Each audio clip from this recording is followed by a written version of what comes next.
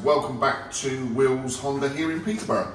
I am standing next to a 2024 Africa Twin standard bike with the full electronic suspension DCT. Top of the range. As you can see, it is fully kitted. Panniers, top box, tank bag, fog lights. It has everything fitted to it.